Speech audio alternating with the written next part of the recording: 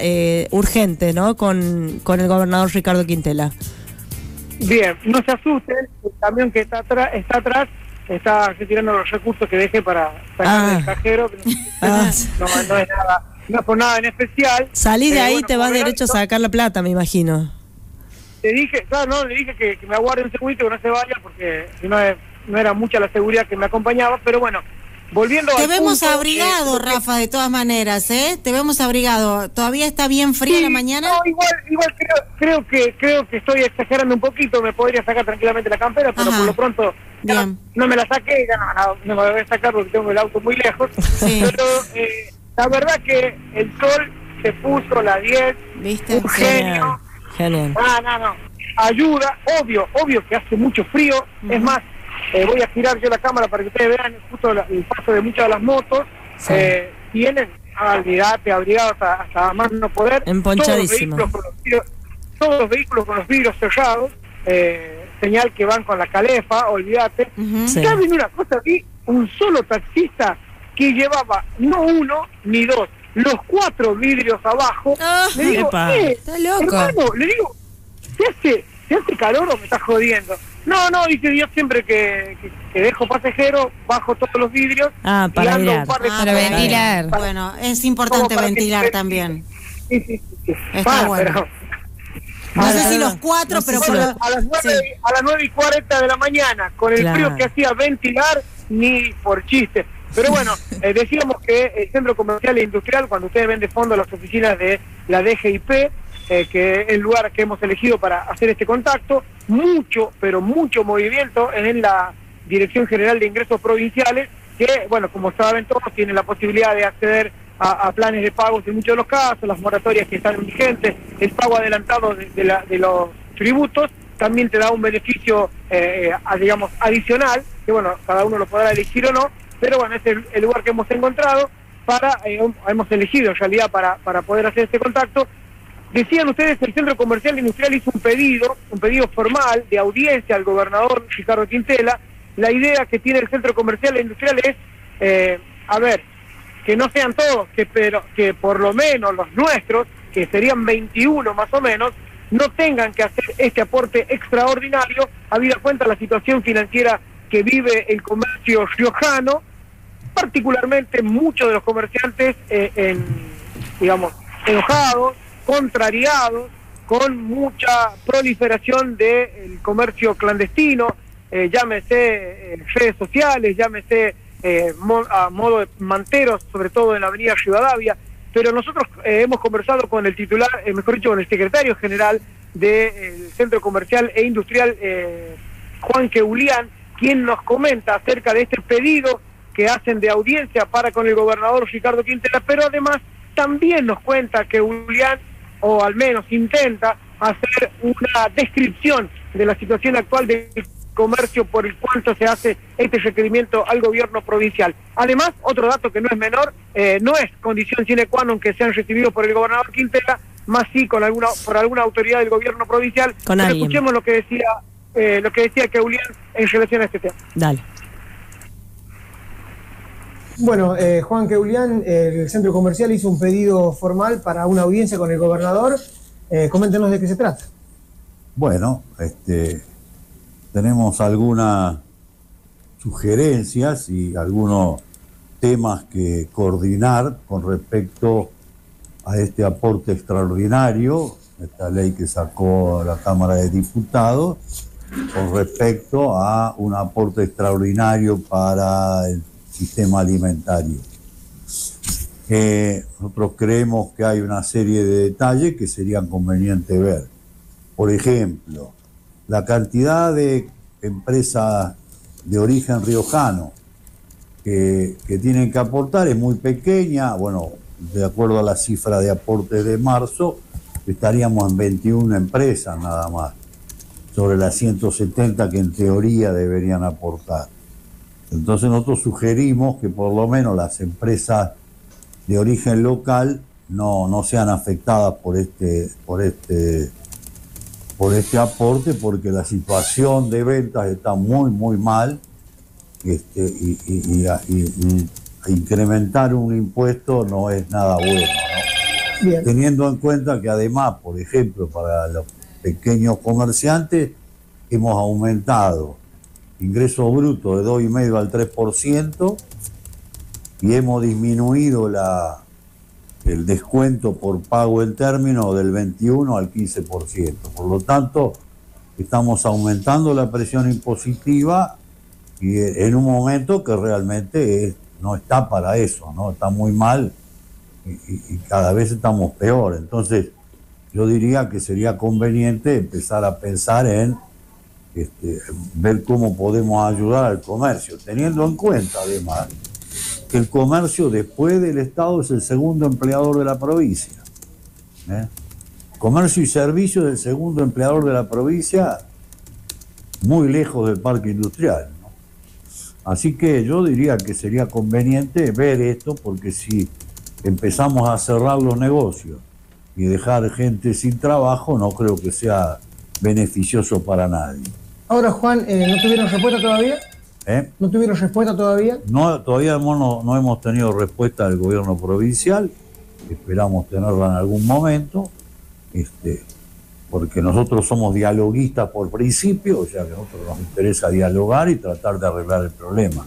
Ahora, bueno, esperemos, esperemos que así sea en los próximos días y podamos hacer algunas pequeñas modificaciones que no afectarían la recaudación demasiado y que además este, permitiría que todos estemos un poco más tranquilos. Es decir, que los comercios están de acuerdo en aportar, pero no en esas, en la, digamos, en el porcentaje que se establece en la ley. No, no, el tema es que yo creo que el, que el a ver, son los que facturan más de 200 millones. Esto tiene dos problemas. El problema es que la cifra fija es dos- 200 millones cuando lleguemos dentro de tres meses cada vez va a ser más gente la que aporta. Bien. Nosotros decimos, las empresas que son locales de origen riojano, como son pocas, que no aporten. Esa es la diferencia. Por supuesto, la mayoría de las que aportan son los bancos, eh, la- la- las cadenas nacionales, etcétera, ¿no? Y la- los distribuidores nacionales, todo eso sí, por supuesto. Bueno, eso ya es un tema de. Nosotros defendemos la cosa local, no, no, no vamos a interferir en las cosas que son de nivel nacional. Pero por eso pedimos que por favor este, no, eximan a estas empresas de- de tener que hacer el aporte, por lo menos hasta que esto, las ventas empiecen a regularizarse, porque todavía están muy bajas, ¿no? Bien, Juan, eh, ahora, eh, digamos, en todo esto que ustedes vienen planteando, eh, ¿cuál es la respuesta del resto de los comerciantes, ¿no? a, a los que ustedes representan? los comerciantes.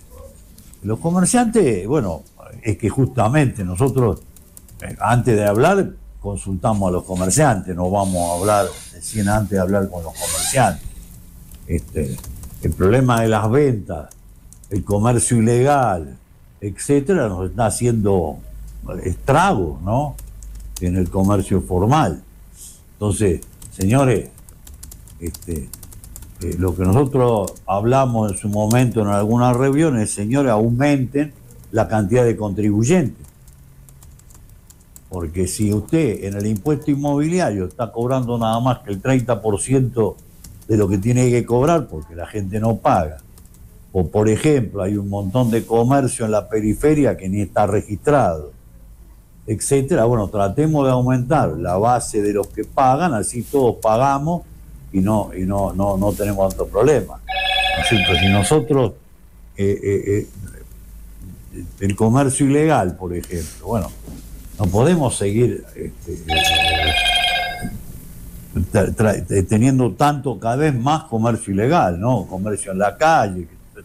Eso perjudica al comercio establecido. Así que bueno, eso es todo.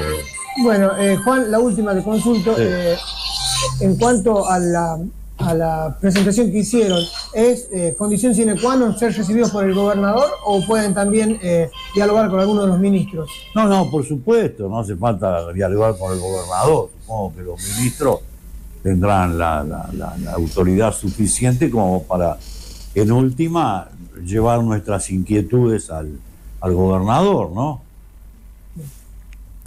Bueno, Eh, el medio estaba enojado porque le sonaba el teléfono sí. a Keulian. Uh, decía que Ay, Keulian, Eh, que diga la. ¿Ah? La- falta que diga la. Bueno, Menos mal, menos mal que se terminó, menos mal que se terminó ahí la entrevista, Rafa.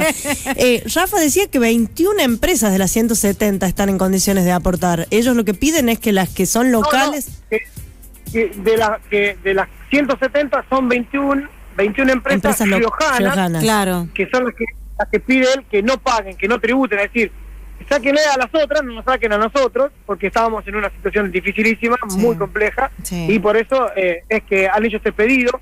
De todas maneras, eh, entiendo, van a ser recibidos por el ministro Bazán, creo, eh, por lo que más o menos estuvimos averiguando. Ah, de todas maneras, el gobierno tiene absolutamente todas las- las intenciones de poder llegar a un acuerdo, pero hay que decir también que ya es ley, ¿no?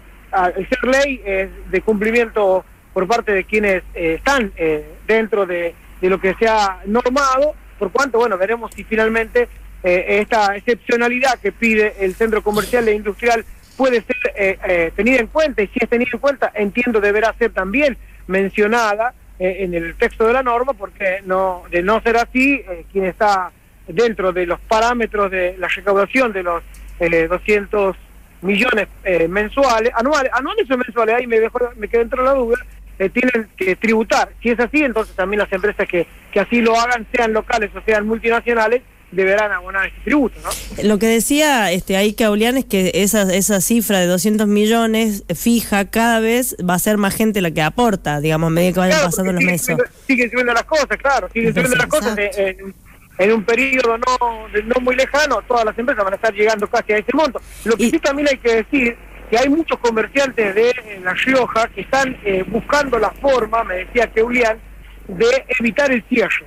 Eh, Están yo- buscando la forma de evitar el cierre, eh, cierre que en muchos casos es inminente eh, ante la dificilísima situación que atraviesan muchos muchos de los comerciantes y esto atento a lo que decíamos, ¿no? Mucho comercio clandestino, mucha competencia desleal, eh, muchas redes sociales, eh, mucho marketplace, digo, todo eso hace que Claro. de alguna manera eh, el comercio se mueva a veces en la informalidad y esa informalidad eh, eh, obviamente atenta contra estos comercios, por eso decía que bueno, de última que tributemos más, pero que seamos más los que aportemos para que termine siendo menos el aporte. Pero bueno, en definitiva, eso es lo que, lo que está planteando el Centro Comercial e Industrial, que espera una reunión con el gobierno provincial. Bueno, recordemos también lo que decíamos temprano con Anto, Rafa, que era lo que ellos estaban proponiendo también, que era este pago de sueldos de alguna manera diferente o diferenciado o regionalizado, si vale el término,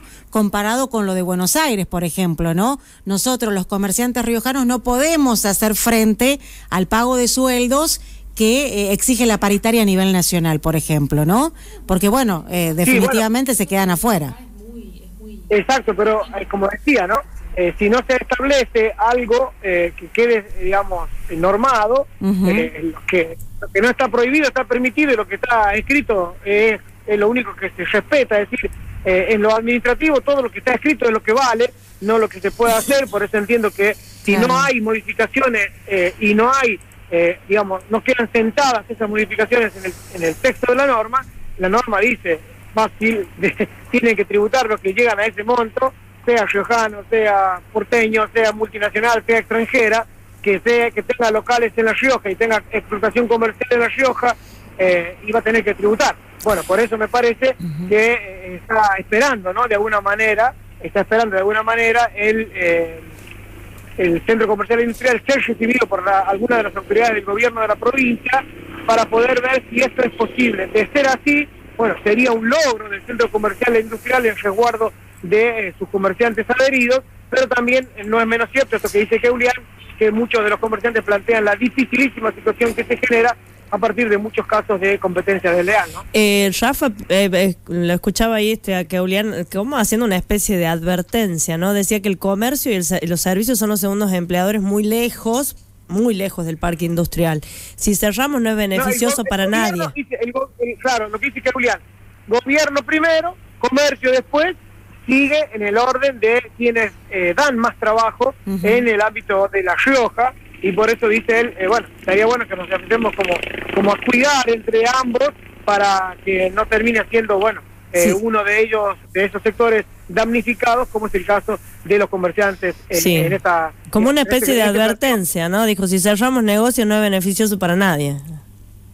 Eh, es que, bueno, es que ese es el paso que sigue, el cierre de muchos comercios que, por eso yo lo decía eh, casi también a, a propósito, que, que Julián dice, muchos comerciantes nos están diciendo, en este momento, en esta circunstancia, es más fácil cerrar, lamentablemente. Ahora me parece, tema, ¿no? eh, desde el punto de vista político, Rafa, eh, esta ley que, bueno, finalmente se aprueba en la legislatura provincial, ¿no hubo un, un trabajo previo acordado entre el gobierno con el centro comercial industrial o con, lo- o sea, digo, eh, ¿Sabes me- qué? ¿Sabes qué? Me parece a mí, me parece a mí que eh, fue como tomando parámetros, algunos parámetros. Eh, creo que Julián me dijo fuera del micrófono, eh, esto lo digo eh, porque obviamente estábamos charlando y está es, es dable de, de comentar. No violes fue el off. the record, no fue, no fue un off the, no fue un off the record que, que se puede callar, sino que más bien fue una situación que, que charlábamos ahí en el medio. Me decía, hubiese estado mejor, eh, digamos, sentarnos todos,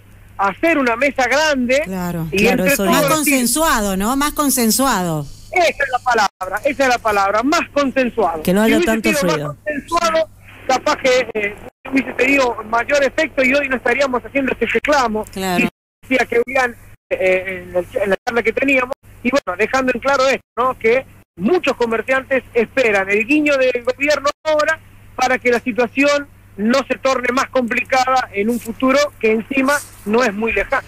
Bien. Bueno, ahí está, tema, Rafa. bueno. Eh, seguimos seguramente el tema. Gracias. Te dejamos ahí, ya se fue el camión de caudales, así que, puedes cuide. ir nomás. No, no, es que el tema es que me llevó la plata. Acabo de sacar el cajero, la, la metí en el camión para tener más seguridad y ya se me la llevó. Pero bueno. ¿qué va a Está, no, importa, bueno, yo que, yo que usted lo sigo porque es Sí, 27 seguilo, todavía. sí, ¿eh? seguilo, Rafa, Ah, seguilo. Sígalo. Es, buen- es buen dato, es buen dato. Ya salgo detrás de, de, de ese camión. Gracias, Rafa. Gracias. Hasta luego. Bueno,